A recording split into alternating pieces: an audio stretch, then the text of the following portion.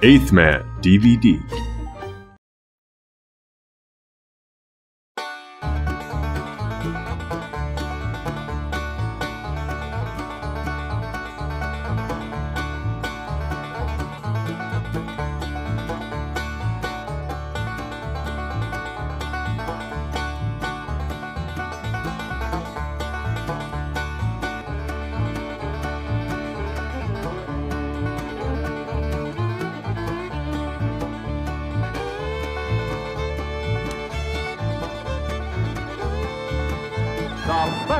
Beverly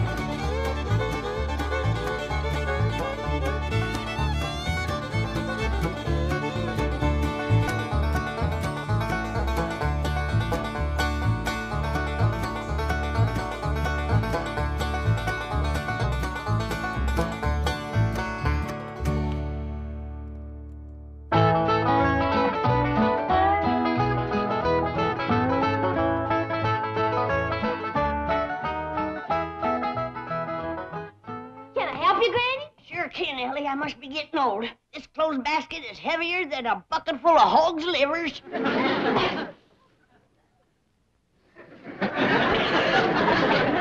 Don't touch it. It's haunted. I bet you little Jasper crawled in there to get warm. Who in tarnation is little Jasper?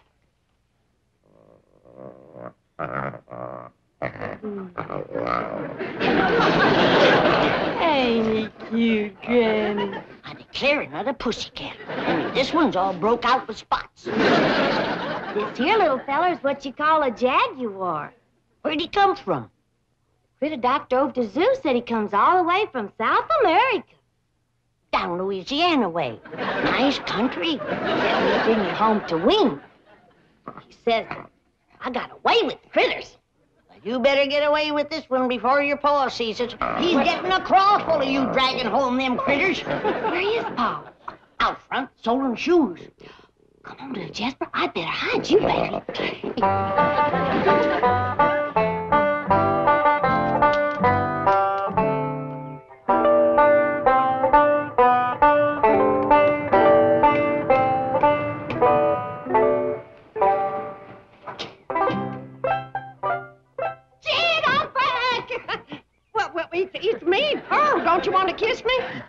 Didn't want to nail us together, Pearl.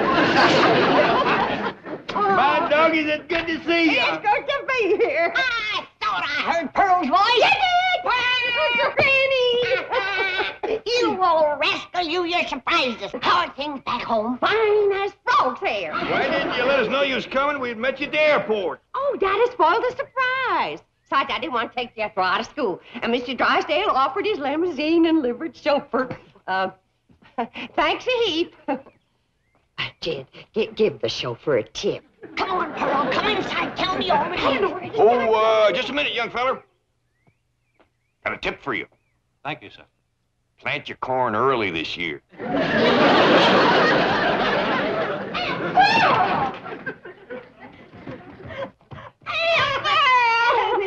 Annie, man, it's good to see you. Well, tell us all about Jeffrey getting married. Did you have a big fancy wedding in your parlor? Sure she did. Pearl's been planning that for years.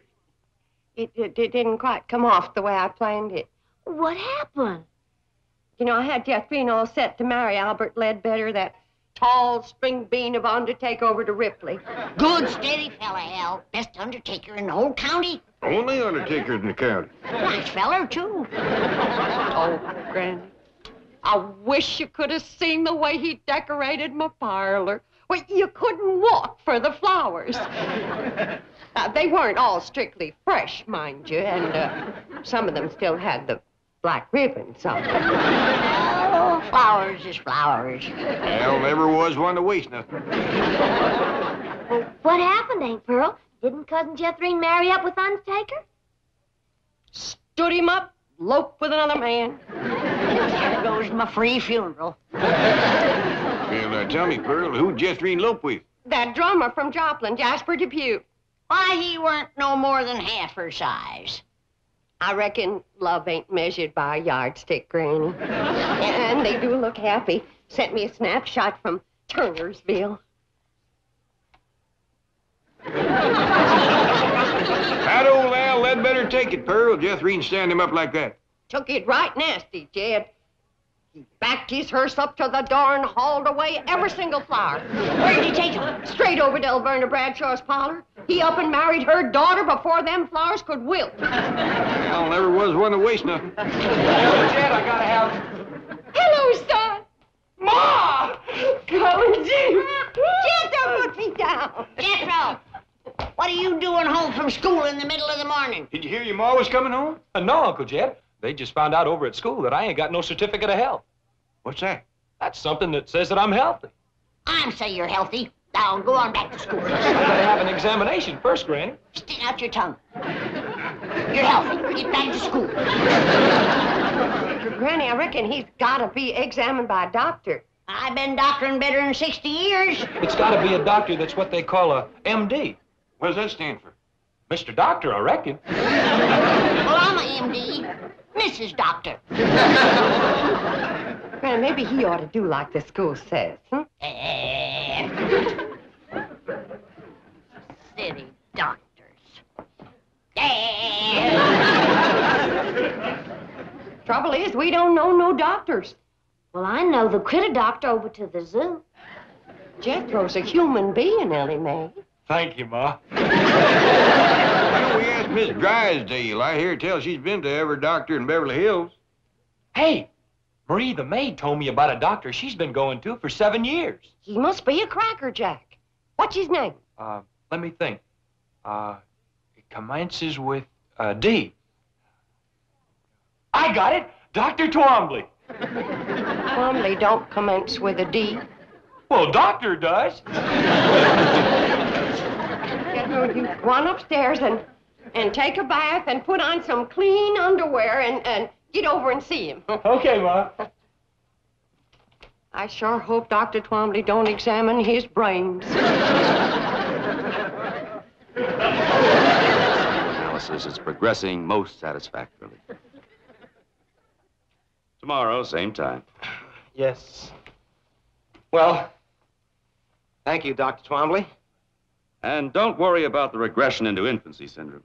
You'll overcome this desire to be a baby again. Yes, sir. Thank you, Doctor.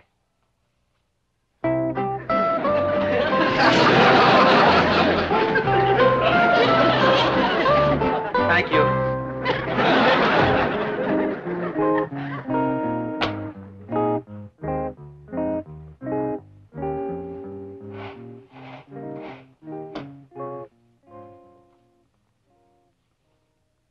You thought you had some beauties, Dr. Freud.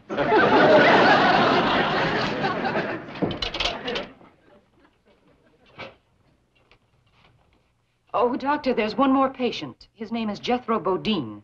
This is my golf day. You know I don't take patients after 11 o'clock. He was referred by Mrs. Drysdale. Oh, all right. Call Dr. Black and tell him I'll meet him on the golf course at 12.15. Yes, Doctor.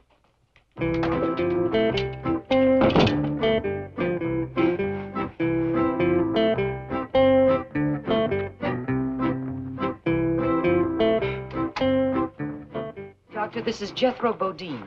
Howdy. How are you, Jethro? Uh, make yourself comfortable on the couch right here. Thank you.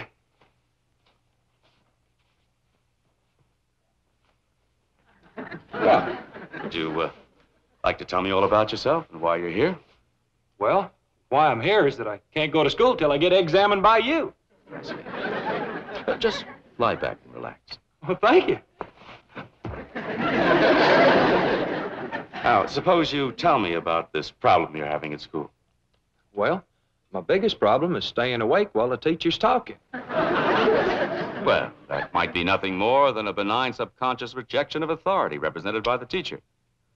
It doesn't mean that you necessarily lack interest or capability or intelligence. Above all, you mustn't let this cause you any distress. Together, we will probe into the underlying causations and.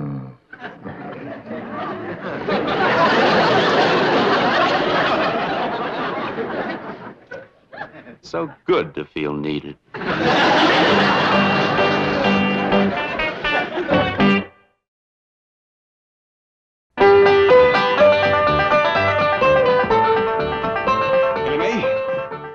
You scared the living daylights out of your Aunt Pearl. Now, something tells me it just might be yours. Oh, I'm Awful sorry, Paul. I plumb forgot I hid him in Aunt Pearl's dresser drawer. He just loves to get in betwixt clothes and snooze. Give me a terrible start, Eddie. I thought it was a fur muffin. Started to stick my hand in and he bit right down on it. Oh, I let out a yell, I can tell you. I heard you clean down to the cement pond. You're yodeling better than ever. Granny, I was I yelling. reckon a ornery critter like this ought to be outside instead of in the house scaring folks. Oh, leave her, stagehead. I'm commencing to like her yodeling.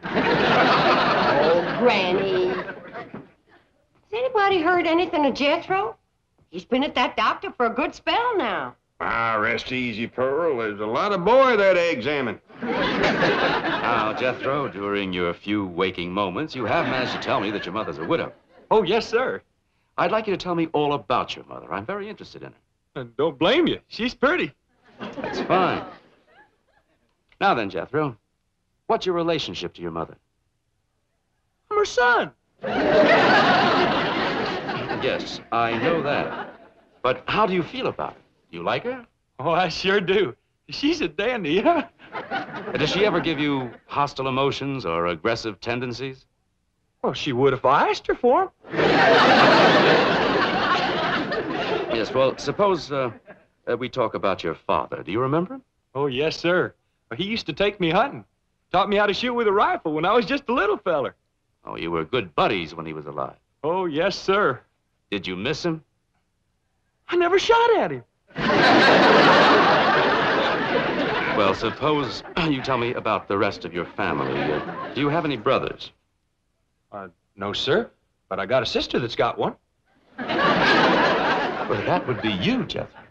Uh, no, sir. Uh, her name is Jethrine. Why don't you go back to sleep for a while? Oh, Granny, wait till you see what all's in here. Every last thing you asked me to bring back from the hills. Oh, bless you, Pearl. Puccoon root. Pearl, you'll never know how I needed this. When you simmer this in slippery elm tea, it is first rate for chills and fever. Dried crawdad tails. Big rascals, too. When they is ground up to powder. You can't beat it for easing headaches, curing warts, and seasoning sauerkraut. Catfish whiskers. Oh. Soap water. Oh. Dogwood bark. And the skins from three full-grown newts caught at midnight under a full moon. Pearl, you ain't gonna believe this, but you just can't buy these in Beverly Hills. That's a fact, Pearl. Jethro drove me up to five big department stores out here, and not one of them had a newt skin. When it comes to charms and potions, you might just as well not commence unless you've got the midnight moonlight caught, fully grown newt. Pearl, did you do all this gathering yourself? Oh, no, not yet. I had company, especially for the midnight moonlight newt hunt. Mm-hmm. Uh, anybody I know? Oh, three of the most marriageable men in the hills. Well, that'd be uh, Jack Cantrell, uh, Widower Lloyd, and uh, Old Man Casey. Oh, he ain't so old. I declare, I had to watch out more for him than the newts. I'm surprised you didn't get married while you was back home, Pearl. I had plenty of chances, Granny, but I got sport living out here. So I'm gonna hold out for one of them good-looking, snappy-dressing, money-spending Beverly Hills fellas. Wild honeycomb. Honeycomb and Mountain Dew. Best thing in the world for quinsy. Mountain grown flaxseed. Nothing better for poultices. Old George McQueenie sent that to you. I'll take it anyway. Ma. Ah, ma. Well, what'd the doctor say? Are you well? Are you healthy? I never did find out. But when that Dr. Twombly heard that you was my ma, that's all he talked about from then on. Talking about me? He must ask a dozen questions about you. But Jethro, I don't even know the man. Well, he sure knows about you. And he'd like you to come to his office to see him. When? Well, he says the sooner the better. And he's a good looker, too. Bet you Mrs. Drysdale told him about me. I'll hurry and put on my star-bought hair and high society dress. Jethro, this uh, Dr. Twombly, uh, pretty nice fella. Yes, sir. But he's awful nosy, though. Never stops asking questions. Shows he's interested. But there's one thing about him I ain't gonna like. He's a messy writer. Yeah? Yes, sir. You know how Ma's always fussing at me for spilling ink in my writing book? Yeah? Well, he showed me one of his books, and Uncle Jed, it's the biggest mess of ink blots you ever saw.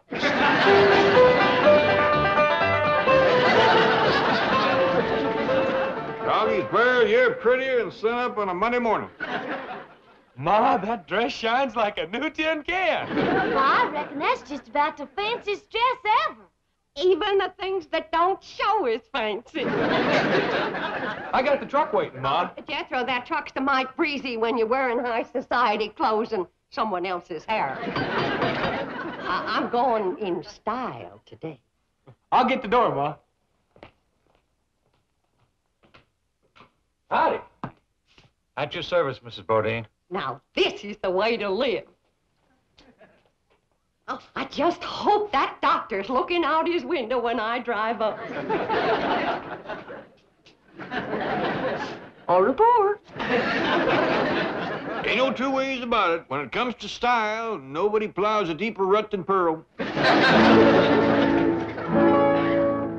Mrs. Bodine, how nice to see you. I'm Dr. Twombly.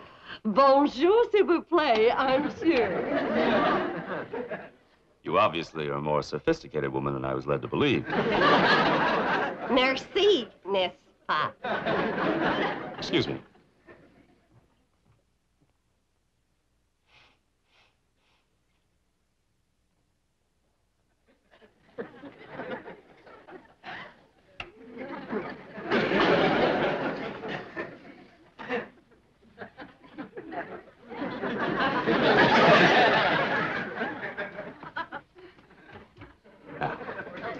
Step over to the couch and make yourself comfortable. Oh, sit down. Sit down. Relax. Let's get acquainted. Don't you get the wrong idea just because I talk French. Oh, Bodine, you don't. You bet I don't.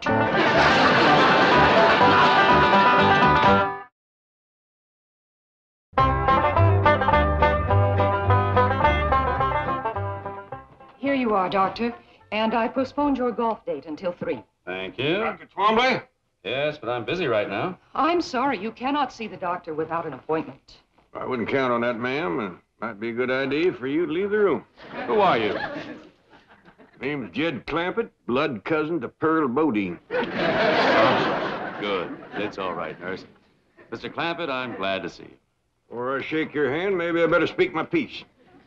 By all means. Sit down. I'd rather stay stand, thanks, and I'll get right to the point. Back where I come from, we don't take kindly to anybody trifling with our female kinfolks. But, Mr. Clampett, I... I take into account that this is a big city and your ways are probably different than ours.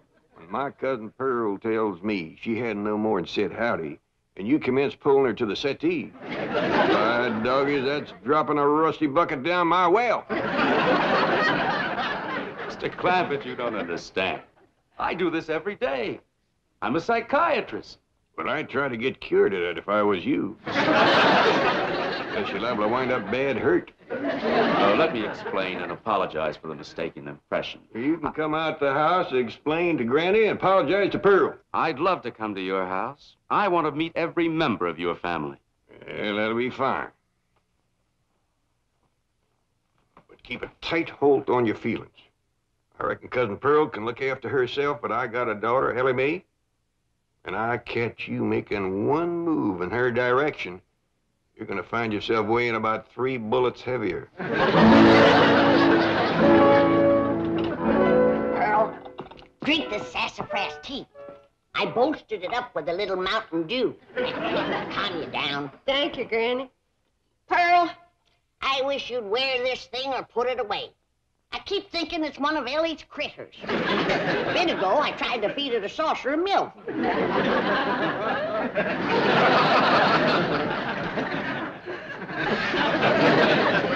Pearl? You do do something different to your hair? well, Pearl, uh, Jethro and me uh, brought that Dr. Twombly home here so he could apologize to you. Oh, I got it, I got it, I got it. No mirror in here.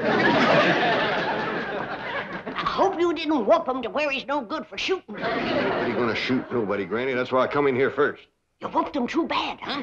Whoop my toe. How come? Poor feller's so sickly, he gotta have a nurse handy all the time. Jethro, bring him on in here.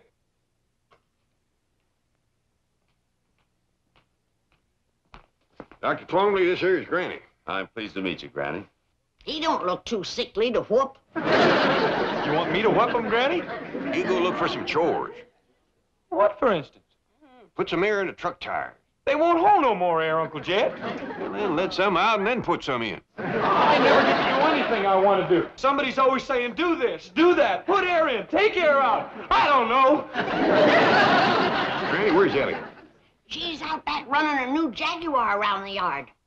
Well, uh, I'll go fetch her. I reckon uh, you you'll be safe with him. Sit down, Doctor. Thank you. So, you call yourself a doctor, do you? Well, I do hold several degrees. All right, Doctor.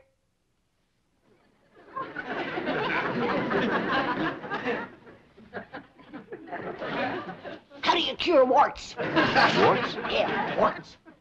Well, dermatology isn't my field, but I assume electrodesiccation is still a preferred method. Eh, Oh, is there a newer method? stump water and lime, mixed with ground up crawdad tails, daubed on with the leg bone of a buzzard, just before the moon comes up. Think you can remember that? Well, I'll try. Hmm?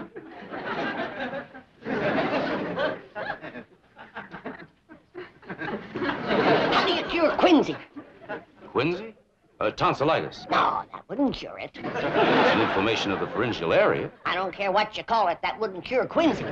Quick, what kind of poultice for rising in the ear? Poultice. What's acidity for?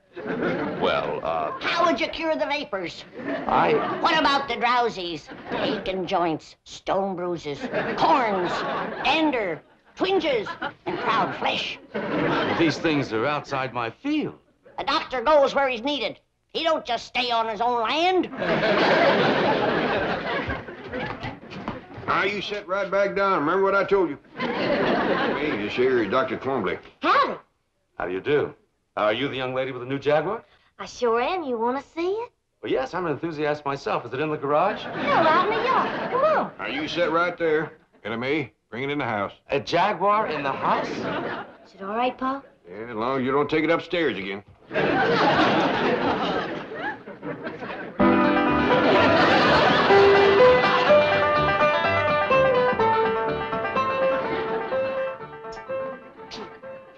Bonjour again, Doctor. Oh, Mrs. Bodine, I, I am so sorry my actions in the office were misconstrued. They was downright forward, but if you want to court me proper, you can come into the parlor. Uncle Jed, looky here. How'd that happen? Well, I was blowing air into it like this here. When all of a sudden, pow! Jethro, I told you and I told you, use the pump.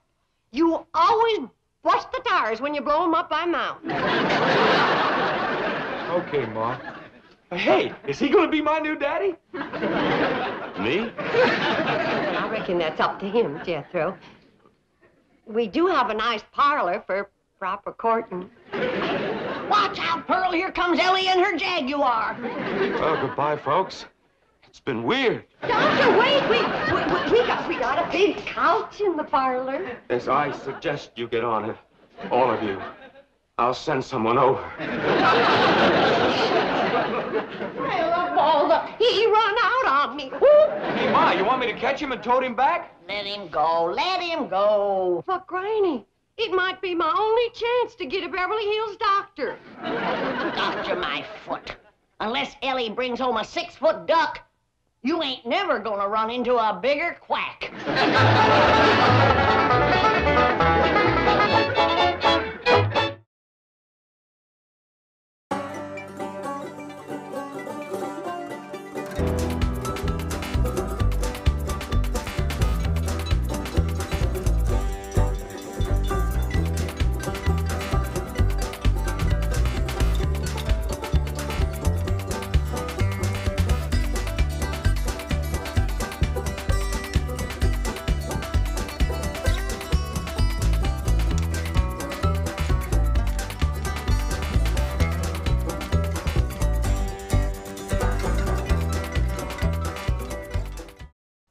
This has been a Filmways presentation.